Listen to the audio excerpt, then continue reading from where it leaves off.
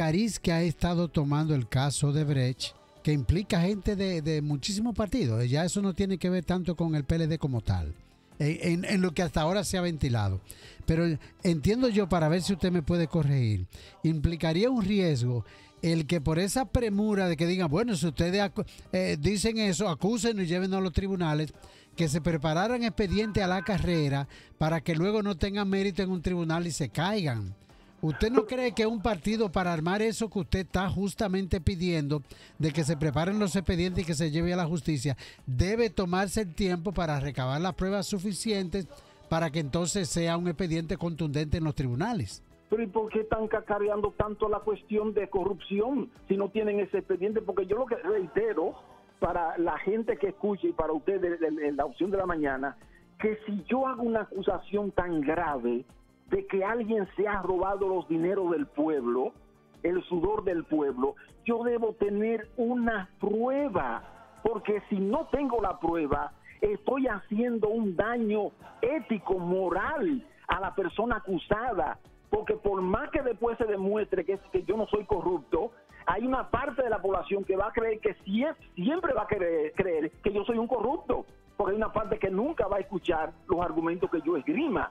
Entonces, eso para nosotros es muy importante, Entiendo, pero entiendo. por eso es que nosotros vamos a hacer hincapié, porque estamos esperando esa prueba, en lo que tiene que ver con la economía, que es lo que, que, que te toca directamente a la vida del pueblo, en el sentido de que si la economía está quebrada, si el país está quebrado, lo que le espera al país no tiene punto de comparación. El señor Faña, que tiene que ver con el IADS, Elías, Sí, Eh, Instituto Agrario Dominicano. eh, él habla de que van a investigar con mucho cuidado el destino de cerca de 63 mil millones que se supone que fueron entregados o que tuvieron que ver con ese proceso de la visita sorpresa.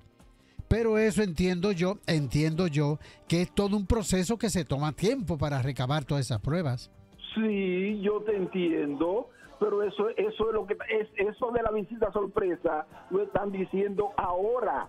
Pero obviamente eh, con eso es una bola, porque evidentemente que ellos saben que ese es un ese es un capítulo luminoso de la vida del país, reconocido internacionalmente. Entonces, ¿cuál es lo que qué es lo que yo eh, percibo? Que ellos quieren desmontar todo lo que uno se había hecho que toda, cuando ellos debían montarse en lo positivo y seguir adelante en medio de una crisis como la que Excelente, tiene- la, que tiene, la que tiene el mundo a hoy. Eh, claro, O sea, excelente. Eh, don Lidio, eh, uno de los grandes miembros del, del PLD, el, el señor Navarro, Andrés Navarro. Andrés Navarro, hizo unas declaraciones que a mí me llamaron mucho la atención y quiero comentarse a ver qué usted opina. Él dice que fue tanto el éxito que tuvimos en el gobierno que nos olvidamos del partido. ¿Qué comentario le merece a usted eso? Bueno, es que yo pienso, yo respeto esa opinión, pero lo que pasa es que el éxito del gobierno es el éxito del partido.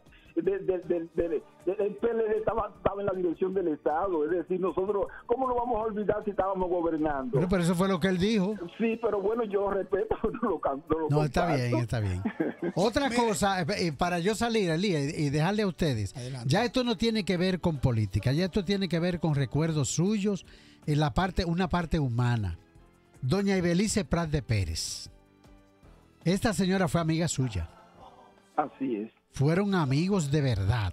así En es. la época de un PRD famoso, ustedes compartieron mucho. ¿Qué opinión me- merece a usted para la población que nos está escuchando la vida, los logros de esta noble dama? Bueno, eh, Ibelice Prade Pérez es un, eh, es un ejemplo de una persona que viene al mundo para servir, para buscar lo que conviene a la humanidad.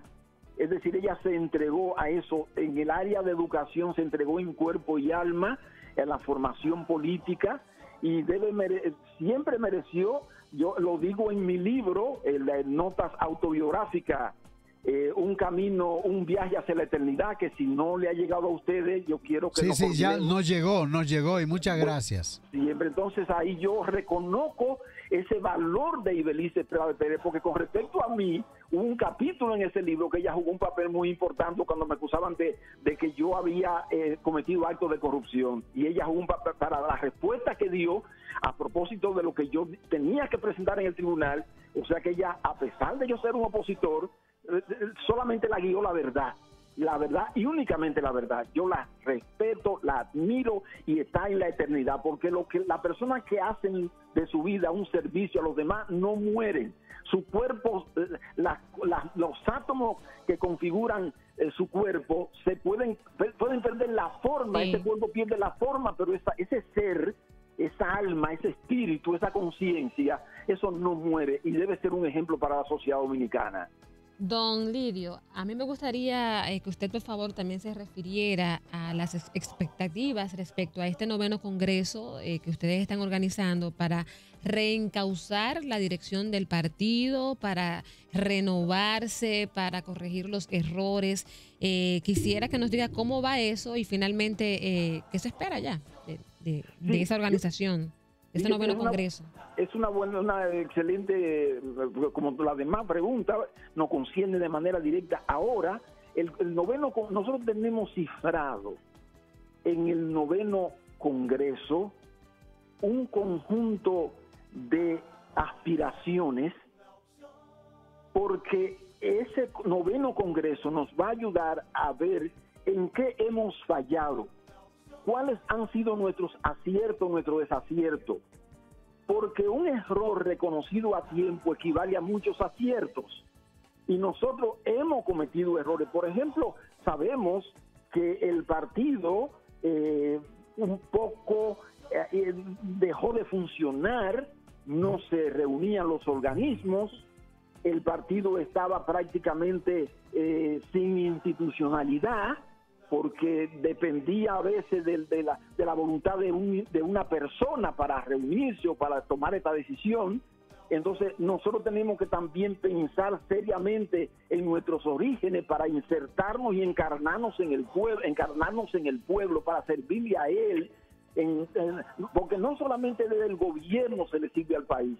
Nosotros demostramos en la oposición que también con Juan Bosch presente, que también se le puede servir al país desde la oposición. Yo recuerdo siempre ese ejemplo hermoso, que cuando don Antonio habló del asunto de la venta del oro de, de Cotuí, eh, que teníamos nosotros eh, un rol en la oposición, propusimos a don Antonio, un presidente digno, le propusimos que ese oro no se vendiera como materia prima. Que se procesara aquí, ¿verdad? se procesara. Y yo recuerdo aquel discurso histórico. Yo en la reunión previo a ese discurso al país de Don Juan, se reunió con nosotros, estaba como un niño. Y, un niño de contento, es decir, porque sabía que lo que iba a proponer algo beneficioso para el país. Le dijo, don Antonio, vístase de gloria. O sea, y entonces puso al partido, totalmente el partido a su disposición. Es decir, nosotros tenemos que tomar conciencia de que al partido se le sirve desde cualquier espacio, desde cualquier ángulo, no importa que uno tenga el gobierno de la oposición. Precisamente, Lidio, precisamente a propósito de lo que usted acaba de narrar, que me parece históricamente correcto, es que el Partido de la Liberación Dominicana parece que perdió esas raíces de su fundador, el profesor Juan Bosch. ¿Está usted de acuerdo? No, yo, yo pienso, yo pienso que, no se han perdido las raíces. Hay algunas, algunos valores que hemos dado, hemos dado de lado, pero eso no, eh, nosotros lo vamos a retomar. Y yo voy a dar un ejemplo para que ustedes vean. No se han perdido, pero la van a retomar.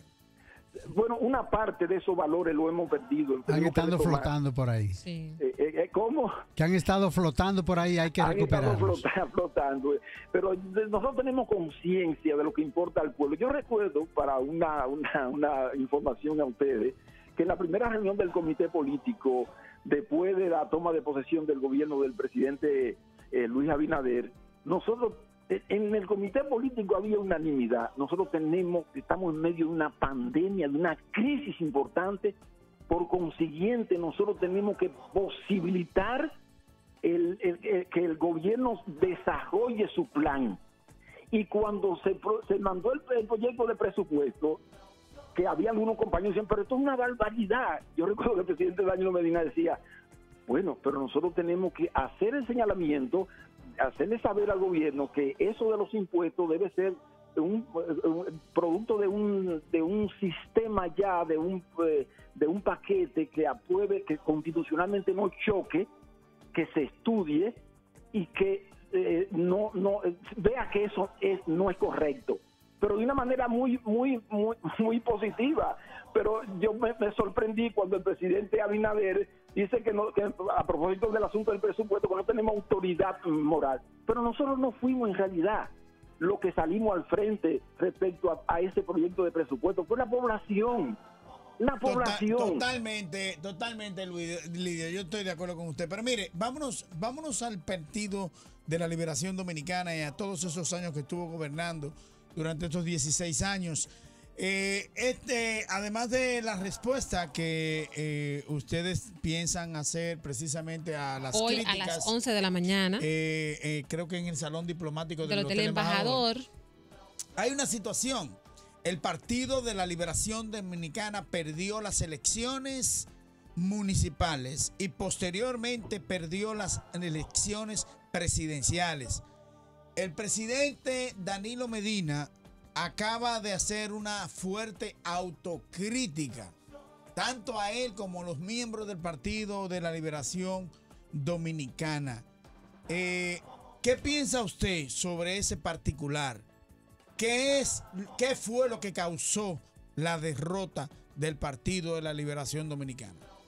Bueno, tengo que responderte que el Congreso, uno de sus aspectos, va a ser la evaluación de por qué se produjo eso que tú estás exponiendo. Entonces, no quiero adelantarme porque los organismos van a tener un, eh, ahora una parte importante para evaluar eso. Entonces, yo voy a, emitir mi opinión cuando me toque eh, participar en, en, el equipo que, eh, que, tendré que participar. Pero es un elemento, es algo sumamente importante. Lo primero, lo, lo primero que le voy a decir, don Lidio, que había una situación en el Partido de la Liberación Dominicana. Desde el año 2012 hasta el año 2016 no hubo ningún problema. El 2015 hubo un acuerdo con las dos partes del Partido de la Liberación Dominicana que se disputaban el poder. Y esas dos partes estaban significadas por Danilo Medina y por Leonel Fernández.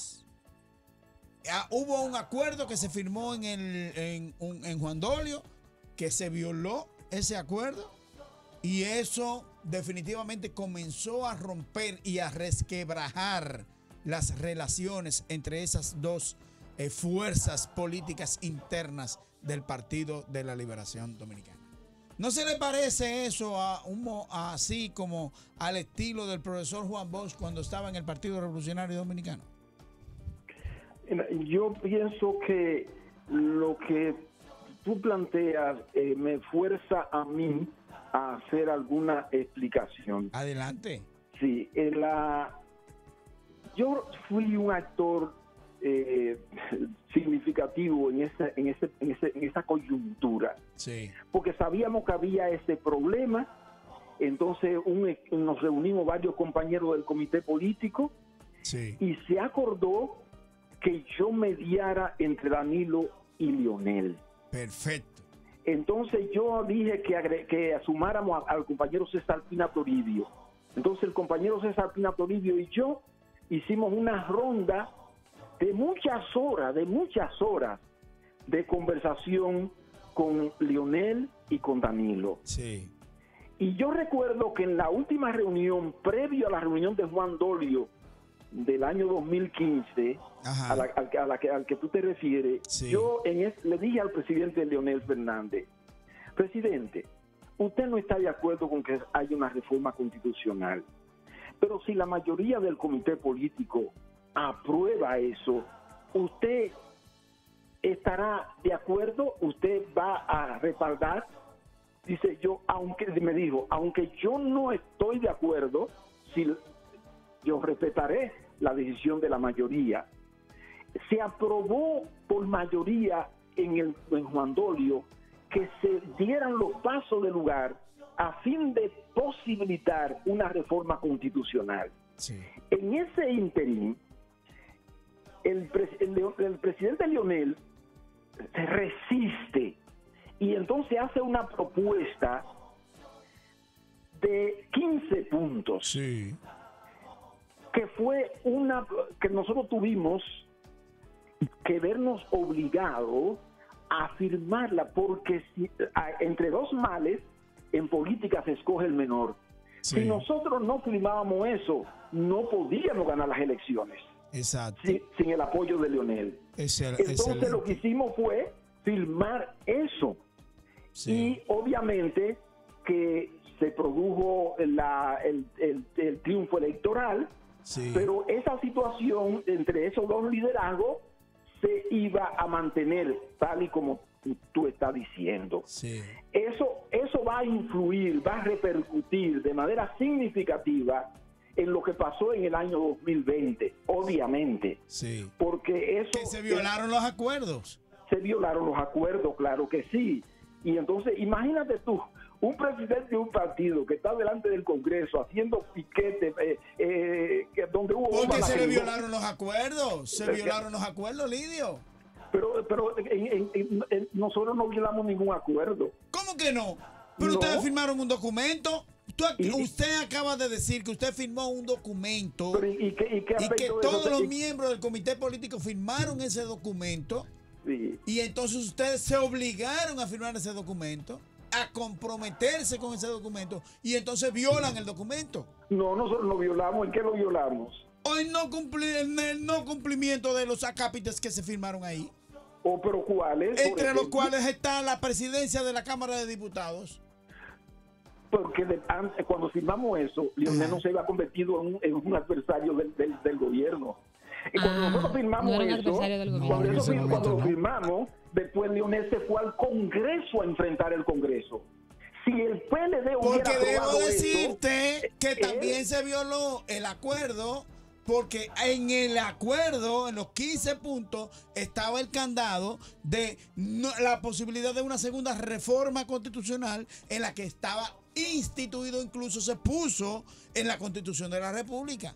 Sí, pero es una cosa que tú, tú eres una persona inteligente. Ajá. Yo te dije que entre dos males se coge el menor. ¿Tú crees que nosotros íbamos a estar de acuerdo con eso? Pero estamos- eh, aunque tuviéramos desacuerdo, pe- pe- preferimos firmar eso para no perder el poder, para hacer la cosa en beneficio del pueblo. Viene la pregunta, decir, Lidio Cadet. tengo una pregunta. Viene la pregunta, Lidio Cadet. ¿No entiende usted que precisamente la violación de esos acuerdos, la insistencia de una reforma constitucional prohibida por la constitución misma de la República en un eh, llamado candado eh, puesto en la misma constitución, fue el causante de el resquebrajamiento de las eh, del Partido de la Liberación Dominicana? No, no, eso vino en- cuando él violó el acuerdo del comité político en el 2015. Es decir, él no, él no acató la decisión del comité político, algo insólito. Perdón, ¿quién fue que no acató la- eh, la- el O comité político? no aprobó que, que se dieran los pasos de la reforma constitucional.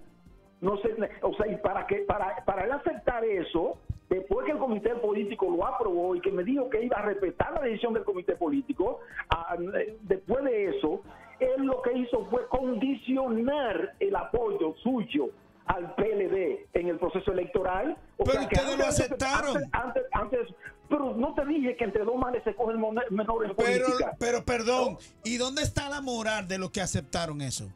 Pero eso no tiene que ver nada con moral, es que cuando tú te, cuando Ah. tú sientes, tú sientes que el, el partido, el, pueblo se va, se va, va a ser afectado en su vida, en la vida misma del pueblo, tú dices, bueno, si, si no firmo esto, el pueblo va a ser afectado porque el PLD va a perder el, po- el poder y la gente va a sufrir el Oye, pueblo a, mí, a, mí, a, mí, a mí la verdad que me enternece eh, la, eh, el amor que le tiene el Partido de la Liberación Dominicana al pueblo.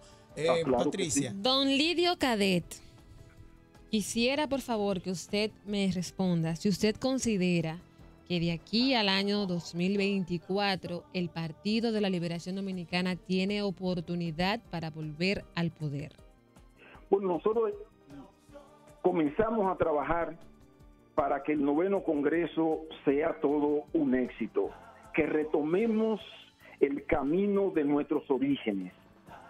que cualifiquemos al partido, que aunque tengamos menos miembros, tengamos mayor calidad. Sino, eh, si, ese, ese, ese camino que se comenzó a recorrer, que inició el domingo 11, con un acto muy auspicioso, porque ustedes lo vieron, estaban presentes, eh, todo el país estaba presente porque se estaba transmitiendo, donde hubo una compactación, una actitud entusiasta unitaria. Entonces, si, logramos seguir en ese trayecto, no hay duda de que el partido que ha hecho la mejor obra de gobierno, porque una de las cosas que, que, nosotros tenemos que evaluar en el Congreso es, teniendo nosotros el mejor gobierno de la historia después de la insurrección de abril, que nosotros hayamos perdido las elecciones, reconocido por los organismos internacionales, la única economía dijo Alicia Bárcena de la CEPAL, la única economía de la América Latina que no iba a tener recesión con motivo de la pandemia, la República Dominicana, lo digo al mundo entero. Entonces, un país que está en ese nivel, entonces no se explica, no, tenemos que buscar la explicación de por qué perdimos las elecciones. Don Lidio, hay un elemento en eso último que usted acaba de decir, refiriéndose a la Bárcenas y a la CEPAL. El mismo profesor Bosch decía que no sé si era, era propio de él, pero lo repetía, que en política hay cosas que se ven y cosas que no se ven. y las que no se ven pueden ser como el caso del iceberg, que la montaña está debajo y lo que sube arriba es un pedacito. ¿Y no será que tal vez ese desarrollo, ese progreso al que usted hace referencia, fue muy caro para la República Dominicana? Fue tan caro que la población dijo, sí, sí, está muy bien, pero no se va a poder. Lo han hecho muy bien, pero ustedes no siguen ahí. Que no habrá cosas que quizás no se quiera aceptar. Que quizás ese endeudamiento que justificaba ese desarrollo, quizás se llegó a un extremo. Que tal vez el uso de esos recursos no fue, no fue el más pulcro y por eso hay tantas acusaciones de corrupción. ¿No será que tal vez no se quiere aceptar esa realidad? Don Lidio Cadet no es que nosotros reconocemos que la población tuvo una percepción que daba que daba como, como resultado y dio como resultado que nosotros no debíamos ir al poder. ¿Y esa percepción era verdadera o falsa? Bueno, nosotros presentamos los números que son testarudos. Tú estás diciendo Pero son testarudos también los resultados de las elecciones que están diciendo, eso a mí no me gustó ese, tremendo gobierno que usted acaba de señalar. no tiene que ser por la economía, porque como decía el presidente del partido, testimoniado por los organismos internacionales, nosotros pasamos a tener una clase media por encima de la clase pobre. Esos son los números que están ahí. Eh, eh, Esos son los números, y los números son testarudos. Lidio Cadet, oígame lo que le voy a decir a usted. Usted es un archi super recontra estratega político. Muy inteligente, muy inteligente. Déjese de cosas que nosotros somos periodistas también. Óigame lo que le voy a decir. Usted es responsable de la derrota del PLD. Y le voy a decir por qué. Fue por usted que le pusieron el nombre a el penco candidato. Oh, Danilo Medina lo dijo. Como diría Lidio Cade, es un penco de candidato. ¿Recuerda eso, don Lidio? Sí, sí. Eh, qué usted barbaridad, es eh. Usted es responsable. Y le voy a decir qué pasa. En el Partido de la Liberación Dominicana, ya Leonel Fernández descartado como candidato. bueno, no descartado, era eh, precandidato presidencial. Pero entonces habían cuatro o cinco candidatos más. Amarante Baré, Francisco Domingo Brito, Andrés Navarro, eh, ¿Cuál era el otro? Eh, Temito Clemontaz. Y el presidente Danilo Medina dijo que el candidato presidencial iba a ser Gonzalo Castillo. Eso no tiene que ver con la derrota también, Lidio. Yo, pienso que es una apreciación muy subjetiva. ¿Cómo? primero, la decisión, la, decisión, de Gonzalo ser aspirante al, a la candidatura del PLD la decidió él en las últimas semanas. ¿Quién, quién, la decidió él, él personalmente. Gonzalo no Danilo Medina. Y Danilo Medina dijo, y lo dijo y lo cumplió, que los compañeros que aspiraran a la presidencia de la República, entonces era conveniente que se cogieran encuestas, empresas encuestadoras de manera común, consensuada, que esos aspirantes le dieran seguimiento estricto a eso para ver cuál de los eh, de los aspirantes tenía la mayor aceptación. Eso fue lo que sucedió. Esa es la verdad monda y lironda.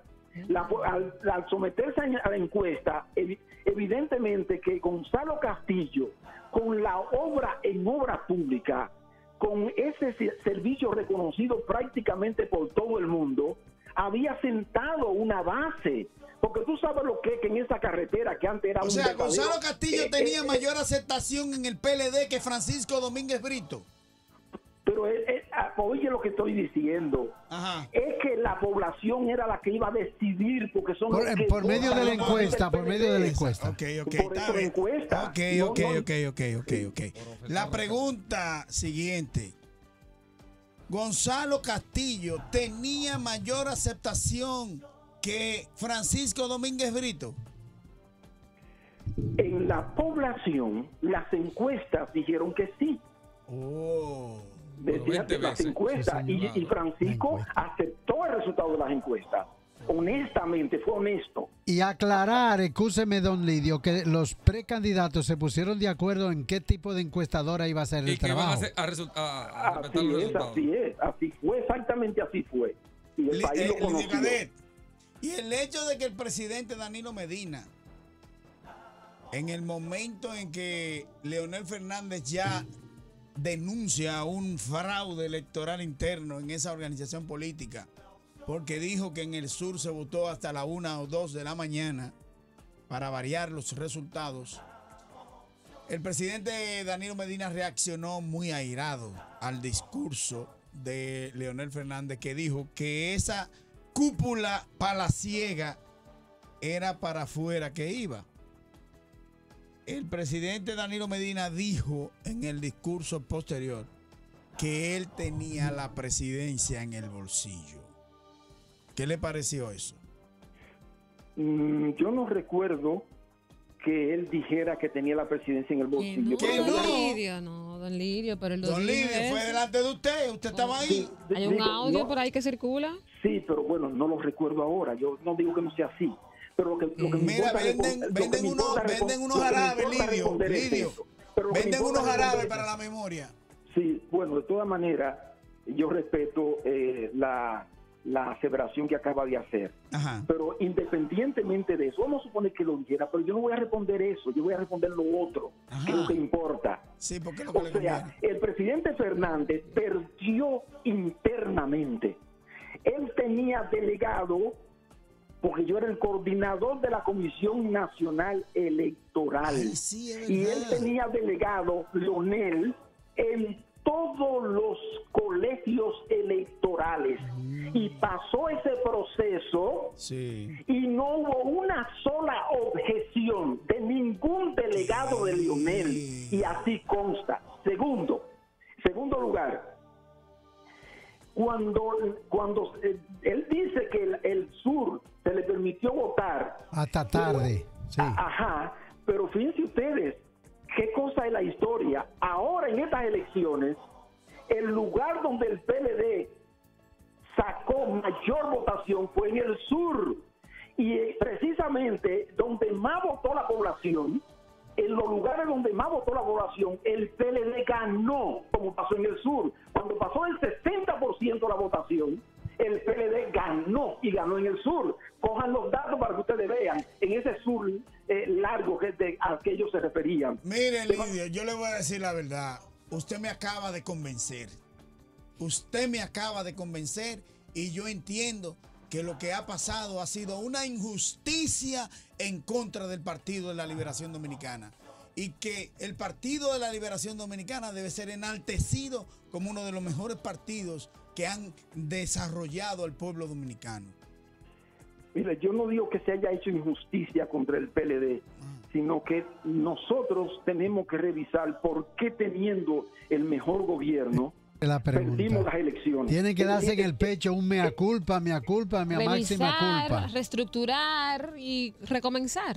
Ya. Claro, Tres R's. Don Lidio, y no será- ahora a ponernos a llorar Sí. en, el, en el muro de la lamentación. Exacto. Tenemos que, tenemos que ver en qué fallamos, qué tenemos que cambiar y ver cómo nos ganamos la- la- la- el respaldo de la población. Don si Lidio, no y no- eso, si no logramos eso, bueno, la oposición seguirá en el gobierno. Pero el Exacto. mundo no se va a acabar. El mundo no se va a acabar. Exacto. Por- por Lidio, eh, ajá. Y, y no será que toda esa cúpula que dirigía el PLD le cogió tanto gustico a los cargos, que eso es cargo acá y cargo allá y se movían de un cargo al otro, que llegó un momento que dijeron, no, nosotros estamos en el poder, el partido no significa nada, nosotros somos el partido.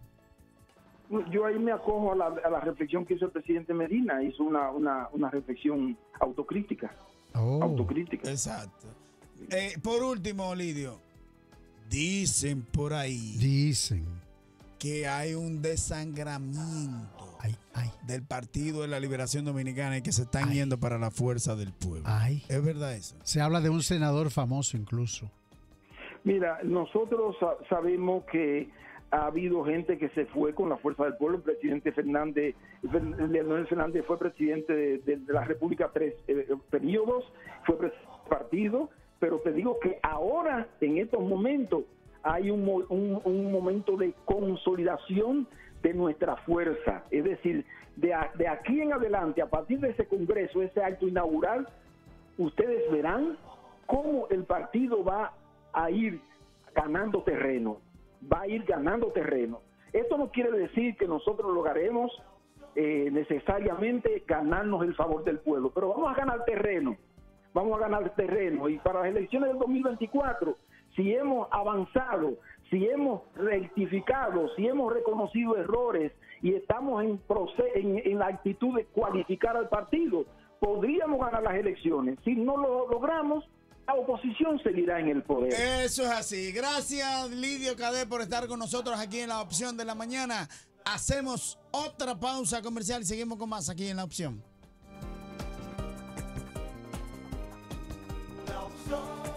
Estás escuchando la opción de la mañana para que